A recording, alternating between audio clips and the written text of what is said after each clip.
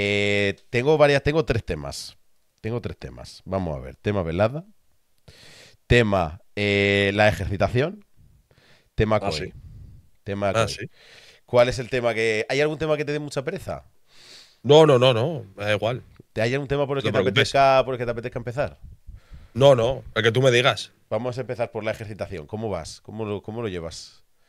Pues muy bien, tío. La verdad que estoy súper centrado ahora mismo en, en mí mismo. Eh, he venido bastante malo de Berlín. Fue un viaje bastante jodido en general. Pero bueno, sobre todo la alimentación la estoy cuidando mucho. También me gusta hacer ejercicio. Temas que ayer estaba muy, muy jodido. Y lo llevo muy bien, tío. O sea, es ahora mismo mi prioridad máxima por encima de YouTube, de Twitch, eh, de de, de cualquier cosa. Y, mm, y bueno, se nota. Yo creo que, está claro que algo dentro de mí ha cambiado porque van pasando los días y no, no noto que, cambie nada, ¿sabes? Ya no es una cuestión de, motivación, porque la motivación se te va al tercer día. Tú empiezas muy motivado con el gimnasio, pero luego notas que es una cuestión de, disciplina, sobre todo de, de disciplina con la alimentación, que es lo más importante, ¿no? Yo creo. Eh, pero bueno, obviamente, si luego lo puedes combinar haciendo cosas, pues es fantástico. El- ¿Hay algo que, es, que, que te esté costando más de, de todo? Bueno, paso hambre como un hijo de puta. Eh, es así. O sea, la realidad, yo usted me intento comer cosas eh, saciantes, Mm. las verduras depende cómo las hagas sacian, la patata al horno ayuda, tal, pero es paso hambre como un hijo de puta. Eh, podría pasar menos hambre, pero seguiría pasando hambre. Al final, un déficit calórico es un déficit y yo he cambiado mis hábitos muy drásticamente, por lo tanto, haga lo que haga, voy a pasar hambre. Eh, sobre todo en, en ciertos momentos del día, ¿eh? O sea, yo no paso hambre todo el día, pero las Mm. noches mm, pueden costar algo más, sobre todo si te quedas despierto un poco más de madrugada.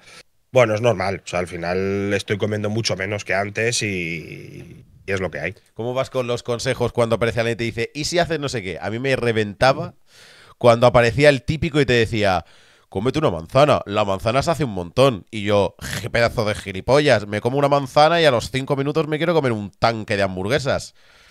Sí, bueno, la gente da consejos con, con muy buena fe. Es verdad que mi cambio físico siempre ha dado mucho que hablar. Eh, a, a mí me ha sorprendido, ¿eh? porque es una de las cosas que, que más ha dado que hablar en general de lo que he hecho en mi vida.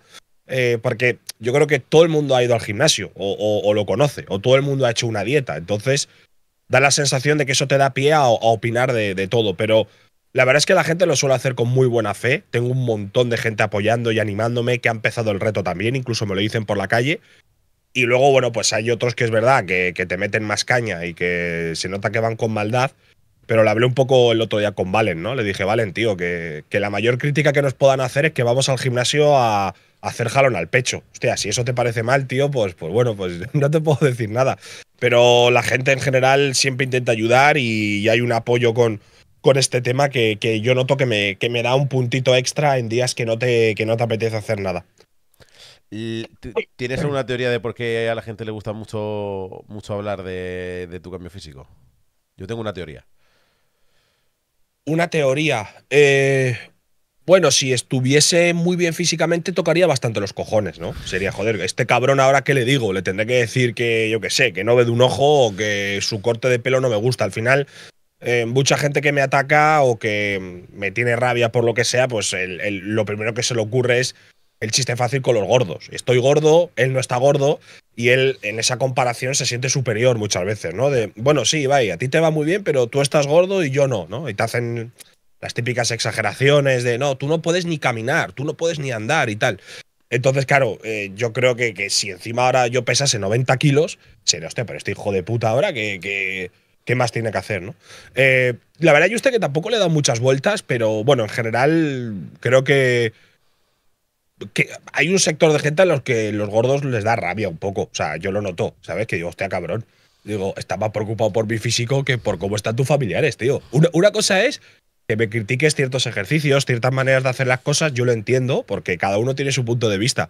Pero hay otros, sobre todo en su momento, ahora ya no tanto, ¿no? Cuando empecé hace años, que dije, hostia, cabrón, le estás dando una importancia a mi vida que parece que es la tuya.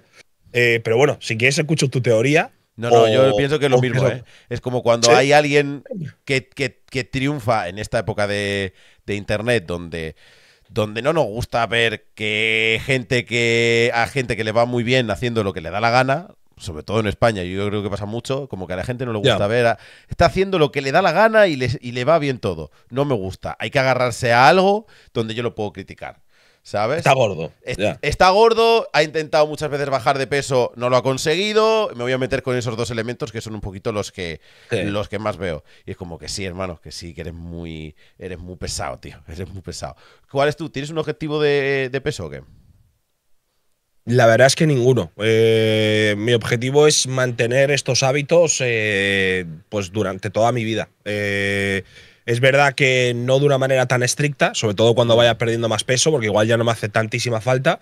Pero sí que me gusta cuidarme a mí mismo. Y he entendido muchas cosas de, de ciertos alimentos, de calorías, de qué producen en tu Mm. cuerpo tomar según qué cosas, de qué produce el no tomar según qué tal, que es una cosa que nunca me había parado a estudiar ni, ni, ni a profundizar mucho. O sea, tú te comías una pizza y dices, bueno, pues me la he comido y ya está. Sé que engorda, evidentemente, pero no has ido un poco más allá de, de yo qué sé, ¿no? De, de muchas cosas. Y, y me interesa, o sea, es una cosa que, que me interesa, pero, pero eso, simplemente mantener hábitos eh, ciertamente saludables toda mi vida, entendiendo que hay días que, que- que- que no se podrán, pero, pero bueno, ahora sobre todo ir, ir bajando sin parar. Buah, yo tengo, yo estoy ahora. eh, ese, sentí el otro día, fíjate lo que te digo. Creo que es la de las primeras veces en, en todo mi proceso de cambio físico que sentí cierta felicidad porque eh, antes de. Yo creo que era en, en enero o por ahí, estaba comiendo 1700, 1800 calorías y no estaba bajando de peso. Encontré a una persona en mi gimnasio que además me conocía y que es preparador físico y me dijo, de, no puedes comer tampoco, tienes que comer 2300. Y empezamos a subir calorías, a subir y subiendo calorías. Es que yo ya tenía un problema prácticamente hormonal porque tenía- estaba comiendo muy poco. Y ya, ya empecé a bajar un montón. Y ahora estoy comiendo 2900 e incluso hay días que bajo con eso. Y es como, ese es, ese es el punto al que, lo típico, o sea, yo te, te iba a preguntar, ¿tú para qué quieres bajar peso? Yo quiero bajar peso y hacer ejercicio para poder comer más. ya está. Primero, por- primero porque yo no, que, eh. yo no quiero estar gordo. Yo no quiero estar. Yo, o sea, no es una cuestión de salud. Es una cuestión de que yo no quiero estar gordo. No me apetece. Y luego quiero comer lo que me dé la gana con, men- con la menor cantidad de problemas posible. Y yo hago ejercicio y tal por eso. Y ahora ya, el otro día, como dije, hostia, estoy comiendo 2.900, 3.000 calorías y me estoy manteniendo bajando. God, cabrón. Ya. God. Eh, eh. sí, es, es una buena teoría. Eh, está claro que te vas a poder permitir más cosas en un futuro, ¿no? Que si pesases eh, pues 150 kilos. Yo quiero bajar sobre todo pues porque estar gordo es un coñazo absoluto. O sea, es así. Es decir, eh, vas a un avión y te cuesta ponerte el cinturón, vas a un ascensor y todos te miran raro porque se va a estancar por tu culpa, eh, vas a un coche y no vas en la parte de atrás porque tú eres el que más ocupas. Eh, es un coñazo total. O sea, es verdad que, te imposibilitan muchas cosas del día a día y de, y de, y de, y de las cosas que se hacen eh, nor- normalmente, ¿no? Eh, aparte de lo que luego tú ya dices que puede derivar en cosas más, más graves. Lo que, lo que yo siempre he dicho en mi directo, ¿no? Que al final. em, yo no quiero estar gordo, ni nunca he querido estar gordo, a pesar de que lo he estado. Pero mientras esté gordo, pues me tendré que querer y valorar a mí mismo. Sí, sí. Porque yo no puedo, porque yo no puedo bajar 50 kilos en un día, ¿no? Es decir, yo no puedo sacar un serrucho y cortarme las tetas y la barriga, me encantaría. Entonces, entonces en, en- en este proceso, donde he estado gordo durante años, a ti también te pasó, vas bajando, lo vas intentando, lo vas fallando, pues claro, cada uno tiene que quererse un poco también a sí mismo. Porque Sí, si me levanto cada día y digo, joder, estoy gordo, soy un mierdas, yo creo que hay un momento que entro en un bucle que no me sirve de nada. Pero es verdad que a pesar de que, coño, intento valorarme a mí mismo independientemente de lo que pese, pues tengo un objetivo claro, que tú también eres el que tenías, que hay gente que lo hace en seis meses y otros en cinco años, porque cada persona es un mundo y creo que no conocemos cada caso particular de lo que pasa por la cabeza de cada persona. Sí, cada uno que siga su ritmo, a lo suyo, con su tranquilidad, con lo que ellos consideran que pueden aguantar. Yo lo que, yo lo que le digo a la gente, yo por ejemplo bajaba 15 kilos y estaba como dos o tres meses estabilizándome. Bajaba 15 kilos y dos o tres meses estabilizándome. Pin, pin, pin y así todo el rato. Y era la manera que a mí me funcionaba, porque yo podía como hacer un esfuerzo mental muy fuerte durante dos meses y bajaba en esos dos meses un montón y tenía una, una disciplina de puta madre y luego era como vamos a subir un poco las calorías y vamos a hacer un poco más de ejercicio porque si no me voy a volver loco. A lo mejor ya habrá alguien en el chat que a lo mejor eso no le sirve, le sirve otra cosa, le sirve bajar. Ojalá, ojalá, escucha, ojalá eh, eh, eh, me sirviera lo científicamente correcto, ¿sabes? Lo típico de bajar un kilo, dos kilos al mes. Ojalá, pero yo así me, me- me desmotivo en cinco minutos. Claro, ¿no? Ya. Sigue lo tuyo, sigue, sigue lo tuyo, lo que cada uno siga lo suyo y quiérete, ¿eh? O sea, no eres peor persona, ni mala persona, ni nada Exacto. por estar gordo. Que hay gente de verdad, es que, que le da rabia a los gordos. Le da rabia. Sí. Y es como. Como no. cabrón, ¿qué quieres que haga? Pues, pues bueno, pues por, por una. eh, depende de qué tipo de situaciones de la vida, pues se ha acabado engordando.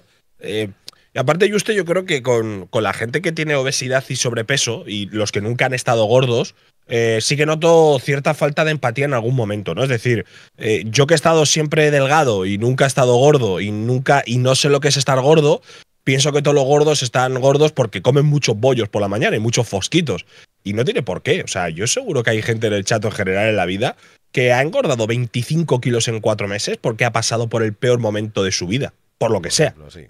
Eh, que, no todos los casos son así, y evidentemente hay gente que engorda porque simplemente tiene una mala conducta eh, eh, alimenticia, me cuido poco, tal. Pero es que el cuidarte poco a ti mismo, a veces, nace de otros problemas que tú tienes en tu vida. Porque ¿por qué te cuidas poco a tú mismo? Pues bueno, depende. Hay casos y casos. Habrá casos que sea porque simplemente te cuidas poco a ti mismo, pero hay otros que se empiezan a dar muy poca prioridad a sí mismos porque están hasta la polla del trabajo, porque lo han dejado con su pareja, porque cada fin de mes están apretados al máximo y están hasta los huevos de todo. Porque es que has dejado no- de fumar. porque has dejado de fumar. Le está pasando a Shiro. Ayer lo me- hablé con él. A mí me pasó. Me ha dicho que ha engordado como 15 kilos después de dejar de fumar. Entonces es como, cabrón, deja de comer fosquitos. Que sí, que todo el mundo sabe eso, pero que el tema es que tú tengas la suficiente empatía para entender por qué alguien ha engordado 25 o 30 kilos y luego en un futuro probablemente los quiera perder, ¿no? Sí. Eh, por eso digo que en- entrar a valorar según qué cuerpos y qué kilos y qué cosas es muy complicado. Es muy complicado, tío. Eh, yo te digo, Justa, has engordado 30 kilos, gordo de mierda. Tú me dices, mira, Ibai, eh, me han echado de casa, me han quemado las oficinas y estoy solo en la vida. Y me he puesto a comer sin parar. Y digo, hostia, vale, Juste, pues, ¿por qué quieres que te diga, tío? Que luego sé que hay casos que no son tan crudos, ¿eh? que simplemente Sí, es, todo. Mm, oye, ya está, eh, me como 4.000 calorías al día y no me he movido y juego al LOL y, y- y- y punto, ¿no? Pero, pero bueno, eh, al Bueno, final pero, es una cosa pero que están esos, pero que están esos hijos de puta que comen 4.000 calorías al día, juegan al LOL y no engordan, ¿eh? Eso, eso- Sí. Para eso tengo Sí, un sí. mensaje. Hijos de puta. Hijos de puta. Sois unos hijos de puta. No me habléis. No me habléis, no me habléis, no me habléis. El puto Porque- Barbe, por ejemplo, la madre que lo parió, tío. Ese no hay manera de que engorde el cabrón. Y Pero, pero luego hace, luego si se pone un poco gordo, se pone a hacer ejercicio, do- eh, lleva haciendo ejercicio mes y medio, ya ha perdido todo lo que quería perder. Yo me cago en tus putos muertos. ¿Quieres Ya. dejar de ver One Piece? ¿Quieres dejar de ver One Piece o algo? Me cago en Dios, tío, qué rabia de gente que, que ira. Pero bueno, eso, que quiéranse a vosotros mismos, tranquilidad, sigan vuestros métodos y sean felices. Y ya está. Y Exacto. no le hagáis caso. Eh, ciencia, ya está, no hay más misterio. Eh, velada. Velada del año 4. ¿Qué tal? ¿Cómo, ¿Cuál es tu valoración de la velada del año 4? Bueno, a mí personalmente me gustó mucho a nivel eh, técnico en general, es decir, cómo, cómo fue de ritmo el programa, cómo se vio, eh, cómo se escuchaba también. Eh, me pareció, bueno, bastante entretenido. Creo que fuimos con muy buen ritmo para todo el contenido que había. De hecho, acabamos antes de lo, Sí. de lo previsto. Es decir, antes de que tuviese que salir Anuel, el programa había acabado antes de, de lo que ponía en la escaleta. Y nada, yo me lo, me lo pasé muy bien. Luego los combates, pues cada uno puede valorar si han sido los mejores o los peores. A mí es verdad que mm, el, como la performance que hizo Virus, yo creo que ha sido la mejor que hemos visto nunca. Pero bueno, en general muy entretenido y me lo pasé muy bien. Me gustó mucho el ambiente del Bernabéu, obviamente hacía mucho calor. Luego es verdad que bueno, tuvimos el, final ahí un poco eh, accidentado. Pero bueno, también son cosas que pasan, ¿no? Al final el directo no, no perdona y es así, el directo no perdona y las horas de los eventos tampoco. Si hay que irse a una hora y, y- y hay que irse sí o sí, pues eh, lamentablemente es lo que, lo que tiene que pasar. Por suerte ya te digo, al final yo por esa parte sí que estoy orgulloso porque nosotros ya habíamos terminado lo que habíamos eh, prometido, e incluso antes de tiempo. Entonces al final estábamos esperando a que saliese Anuel, ¿no? Pero es decir, que por nuestra parte sí que había tiempo para, para que eso se diese. Es decir, no ha sido un, no, es que no hemos terminado el evento Ya, porque, sí, sí, sí, porque no nos ha dado tiempo. Lo siento, no. No ha sido por eso. Entonces a partir de ahí, pues bueno. Hoy tienes a Noel, ¿no? ¿Es la charla de, Eh, ida sí. de Anuel? Sí, sí, sí. Me dijo también de, hablar, porque al final él también a nivel de, lo que ha sido su carrera, pues obviamente es un clip muy viral, que, lo ha escuchado todo el mundo. Al final, claro, que te pase eso en la velada son muchos millones de, de views en general, ¿no? O sea, es como si yo en la velada, pues yo qué sé, me tropiezo y hago una voltereta. Sé que ese clip lo va a ver todo el mundo. Entonces, bueno, pues para explicar también un poco su punto de vista, cómo lo vivió él y demás, luego hablaremos de más cosas y, y nada, espero que al final ya el, el tema quede zanjado porque es que tampoco se puede hacer nada, es que tampoco podemos volver atrás en el tiempo y, y solucionarlo. Estaría guapo. ¿Tienes pensamientos para, para la velada 5? Porque había gente. había- bueno, había pensamientos. Hablando yo con, con Sonri, era un poco lo de. Mm. Velada 5 el año que viene, dejas un año de barbecho que la cosa se tranquilice. Y es como, claro, al principio es como, pues a lo mejor dejar un año así y tal puede estar guay. Pero luego, luego está Gref, que dice que se quiere pegar, se quiere pegar Juan Guarnizo. Está Westcol también calentito. Es como, hostia, es que se está ofreciendo gente. Se está ofreciendo gente tocha. ¿Tú tienes algún pensamiento de la velada 5? Rollo, ¿el año que viene a lo mejor se hace o, o tranquilidad, que es lo que más se valora? No sé con quién lo hablé el otro día, que siempre pasa un poco el mismo proceso. Cuando termina la velada hay un montón de gente que se quiere pegar y esto hace que tengas ganas de hacer la, la próxima edición. Eh, y veo como a muy dispuesto y tal. La verdad que no le da muchas vueltas. Eh, sinceramente tengo que, mm, que pensar un poco en todo porque voy a hacer muchos cambios en mi vida eh, de aquí a final de año. Entonces, en todos esos, en todos esos cambios que voy a hacer en mi vida, eh, tengo que decidir un poco dónde encaja la velada, ¿sabes? Eh, dónde la voy a dejar, cómo lo voy a hacer, eh, si es que quiero hacerlo, de qué manera. Y, y nada, supongo que estos meses pensaré un poco em, qué es lo que querré hacer y en algún momento pues hablaré con gente de, bueno, de posibles participantes. ¿Qué, qué es, es- ¿Has comentado algo de los cambios que quieres hacer en tu vida o es full personal? No, no, no, pe- personal no, a, ni- no, a nivel, sin más, a, a nivel mío, a nivel mío también en parte profesional haré muchos cambios, ¿no? O sea, no por nada particular, sino de, ciertas cosas que me apetecen hacer, eh, de ciertos caminos que, quiero tomar también a nivel de lo que es la creación de contenido. Y, nada, le estoy dando vueltas de cómo enfocarlo y cómo encajar todo, pero, pero sí, yo voy a estar eh, yo creo, bastante más desligado, por ejemplo, de la parte competitiva de las cosas, ¿no? De Entonces, eh, bueno, y de porcinos también. O sea, eh, es- es- siento que mm, he hecho demasiado co-streaming, eh, que he estado muy al pie del cañón del co-streaming, entonces me gustaría en mi vida empezar a delegar en, en ciertas personas para, para hacer según qué cosas, porque también siento que en parte lo necesito. Eh, no, no, no me- mentalmente, eh, ni nada de esto. De hecho, el co-streaming me encanta, sino lo necesito profesionalmente. O sea, me, me siento un poco, ¿sabes? Con el techo ahora mismo muy cerca, eh, o como muy encerrado en una cosa. Y bueno, que quiero simplemente hacer cambios el año que viene y hacer otros proyectos y demás. Entonces, para hacer eso, necesito quitarme de otras cosas. Vale, pregunta que te lanzo, Don Ibai Llanos. Vamos. No sé si te, no sé si lo que estás hablando es, es entre comillas, marcarte una especie de Mr. Beast o lo que sea, pero ¿qué, qué- qué me hace No, a mí? ¿Qué me, qué me hace entender a mí, Ibai? Que te vas a meter en más líos, pero al final no te vas a quitar nada. Porque te puede pasar eso. Estás en plan, no, hay que. El co-streaming me gusta, pero eh, haz- vamos a intentar hacer menos horas porque me apetece hacer otras cosas. ¿Tú estás seguro de que al final lo que no vas a hacer es sumar más trabajo, más todavía a lo que ya estás haciendo? No, o sea, no, no. ¿estás 100% convencido de eso?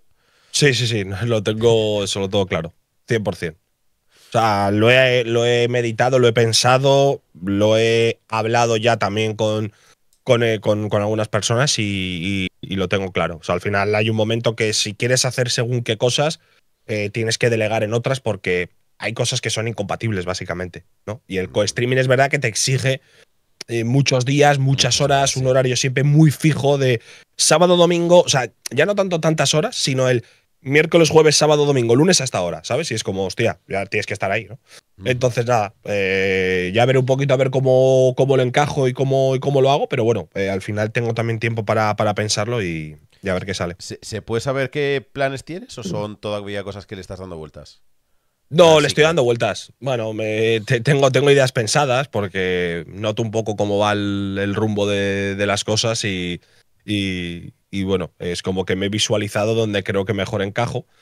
Y, y nada, eh, la verdad que tengo mucha ilusión porque llevo pensando meses en esto, entonces quiero saber un poquito también cómo, pues eso, cómo hacerlo de manera oficial, ¿sabes? De decir, no, no, ya he dado el paso, quiero hacerlo tal. Bueno, yo creo, ya te digo, que la gente lo vea, ya cuando lo tenga más claro lo, lo comentaré, es que ahora mismo no, no tiene sentido porque ni siquiera yo mismo sé al 100% que, que, cómo lo voy a hacer, así que nada. El ritmo de las cosas que es Twitch. ¿Cuál? El- has dicho el ritmo de las cosas. ¿El ritmo de las cosas qué es? Eh, ¿Cómo va la, la plataforma Twitch y esas cosillas o qué? Bueno, en general ahora hay muchas maneras de crear contenido, ¿no? Directos en Twitch, eh, vídeos en YouTube, TikTok es una plataforma también muy potente. A ver, en general hay muchas maneras de hacer cosas y, y en todas ellas pues quiero saber un poco qué es donde mejor encajo para, para mi futuro. Eh, tema. Siguiendo con el tema de la velada. Mm, yo tenía unos pensamientos que yo te traslado, ¿vale? No me has preguntado mi opinión, pero me da igual cómo has venido, pero te lo digo igual. Eh, Vale. Lo que decíamos, el combate de Viruselao, yo creo que es el mejor combate que se ha visto en, las veladas, pero. Pero una locura, by far. Eh, claro, estos chavales tienen, tienen bastante experiencia. Los dos. Los dos. Y sí que es verdad que hay algunos que es como. Parece que tienen menos experiencia, no sé qué. Una de las cosas que a lo mejor hemos hablado aquí alguna vez es avisar a los luchadores con bastante tiempo para que, en lugar de prepararse a partir de, yo qué sé, eh, ¿cuándo se hace la presentación? ¿En marzo? ¿En febrero? Sí, por ahí. pues que se haga a lo mejor, pues que ya que empiecen a prepararse en, en octubre, que vayan con más tranquilidad, no tienes que hacer dobles entrenamientos y demás. ¿Tú has pensado esas cosas de, a lo mejor sí que molaría Sí. tener a gente que, que pueda demostrar más nivel porque, porque joder, está guapo. Que luego, te- que luego a lo mejor lo- te pasa como Wanjar. Llega al combate, se, se, se, le- se sale el Ya. hombro y poco más. Yo creo que molaría bastante que tuviesen más tiempo de preparación, eh, pero no sé si algunos aceptarían el reto. Ujú. ¿sabes? Rollo tener que, Entonces- tan- que prepararse tanto tiempo. O sea, es verdad, yo creo que tienes razón. Creo que se, que se podría cerrar todo en octubre, aunque se presente en febrero. Pero habría que ver cuántos de ellos pues quieren aceptar el reto de decir, ay, va, que me avisas en octubre, vale, me pongo a entrenar en octubre para julio. Estamos hablando de una preparación de prácticamente un año, ¿no? Nueve meses. Bueno, a ver, también me gustaría que los que participasen en la velada, pues eh, les gustase tanto que esto no sea un impedimento. Ya. Es más, que lo vean como una ventaja, ¿sabes? Que no sea como un, ay, qué coñazo, ¿cuánto tiempo de entreno? Bueno, si vas a participar, cuanto mejor tiempo, cuanto más tengo, tiempo tengas, mejor, ¿no? Teoría. Sí, sí, sí. Además, el tema, en tema de descanso muscular, es que cuando la gente empieza, no, por la mañana voy a entrenar y por la tarde voy a músculo cinco días a la semana. Y yo te estás reventando, compadre. O sea, sí, sí, sí. son ritmos que no se pueden aguantar, pero si estás, pues eso, nueve meses preparándote, yo creo que el cuerpo lo acepta mucho mejor. Ahora también. No, no, es, es un buen punto el que dices, ¿eh? La verdad, es un buen punto. O sea, si la gente aceptase y, y le apeteciese, molaría mucho, ya te digo, desde septiembre, tener los combates cerrados y, bueno, rezar para que no se filtren, que no creo que pasara, la verdad, porque hay combates que se han cerrado, o sea, por ejemplo, todos no, pero algún boxeador de esta velada sí que lo sabe, desde octubre, diciembre o, noviembre. Entonces, decir, oye, se va a anunciar en febrero, pero bueno, que sepáis que esto va a pasar y id por ahí entrenando. ¿Tienes algún combate que, de los que hay gente que haya hablado que ya te gustaría traer? A ver, de los que han hablado algunos, sí. Está claro que eh, un un Gref contra Willy Rex sería como un poco el combate mm, soñado por todos los que nos hemos creado en YouTube eh, muchos años, ¿no? Sobre todo por la parte de Willy. A mí Gref ya me pilló más en la época del LOL. Yo a Gref no, no le seguí en su época de YouTube, pero sí que yo seguí mucho a Willy Rex y, y sé que muchos después coincidieron viendo a los dos, ¿no? O sea, sería un combate, bueno, yo creo que muy, muy top. Pero Willy no creo que aceptase. Willy yo no creo que acepte. Me da, me, No, no, me da no, pena, pero pero Willy, pero Willy no. Willy ni de coña. Y el meter, el meter otras disciplinas, como por ejemplo cuando hablábamos con el Chocas, con María Patiño, que era como, ¿y si hubiera un ring de MMA al lado? Eh, Tienes un par de Por si de alguien quiere hacer MMA, ¿no? Que Eh, decía Choca, ¿no? Que él no quiere claro. hacer boxeo, quiere hacer MMA. O sea, Claro. Choca ya quiere pegar patadas voladoras. Yo me imagino que a, a- a nivel logístico debe ser difícil, pero supongo que no hay nada imposible, ¿no? O sea, a ver, se podría llegar a hacer. Nunca me lo he planteado, ¿eh? Porque, mm, porque no hay nadie que me haya dicho eh, que prefiere MMA antes que boxeo, excepto el Chocas, Ya. que tampoco creo que quiera hacer MMA, simplemente me lo dice por, por, por, por decir, ¿sabes? ¿Tú, eh, ¿Tú sabes ya si te puedes pelear en general o no? Por el tema del ojo y toda la historia. Mm, la- no, porque, bueno, aprovecharé cuando tenga cita con, con la médica eh, del, del tema del ojo para preguntárselo, pero casi seguro que, que no. A mí, sinceramente, me encantaría, ¿eh? y, y lo he comentado, porque he visto ya tantos ejemplos de creadores de contenido que suben y lo hacen relativamente bien, o lo puedes hacer muy mal, o muy bien, o tal, pero que todo el mundo es más o menos digno. O sea, no ha habido nada que tú digas. Vale, te han pegado una paliza. Bueno, ya, pero ya está. O sea, ha estado guapo el proceso, has subido, has acabado contento. Y yo todavía lo pensaba, ¿no? Creo que han participado más de 35 o 40 creadores de contenido entre todas las veladas. Hostia, hay muchos ejemplos de gente que ya ha abierto el camino, que te han dicho cómo hacerlo, que han sentido, qué tal. A mí me molaría, tío. Es una cosa que, que creo que además puedo tener algún rival ahí divertido y puede estar entretenido. Y esta velada ha sido la velada de los, de los formatines. Hemos pasado de los combates normales y corrientes al 2 vs 2 o al rey Sí. de la pista. ¿Tienes en la cabeza meter más formatines locos o, o es como eh, no hace falta tanto? No, Yo, mm, mm, Yo alguna- creo que a la gente, yo creo que a la gente le gusta mucho el uno contra uno clásico en general, ¿eh? Le gusta mucho a la gente uno contra uno. Yo creo que aunque sea lo mismo de, hostia, otra vez un uno contra uno, bueno, es que es la gracia de la velada, ¿no? Es una noche al, al año y ver esa esas dos narrativas que se juntan y esa parte bonita de la película de un tío que va a ganar y de otro que va a perder después de haberse dejado los huevos durante cinco meses. O sea, bueno, quisimos probar. El Rey de la Pista, aparte, es una cosa que, que pintaba muy bien. A mí personal- personalmente me pareció divertido, aunque obviamente es caótico. Eh, he pensado en muchas cosas, ¿no? Y la gente me lo ha dicho, hostia, iba, hay un 3 contra 3 de Misho, Jagger, Virus contra 3 de tal. Pero hostia, tío, a, a la gente le gusta mucho el uno contra uno clásico, ¿eh? Tampoco creo que sea incompatible, ¿eh? Con hacer algún formato diferente, pero, pero bueno, era por darle un poquito otra, otra variante, ¿sabes? No siempre exactamente lo, lo mismo. ¿Y qué opinas de los creadores y el tema de- del contenido? Que esto te lo habrá comentado mucho Luzu rollo. Hay como mucha hay como muy poca gente que ha subido muchísimo contenido y la mayoría no sube nada. Y era como uno de los alicientes del, de, de la velada antes, ¿vale?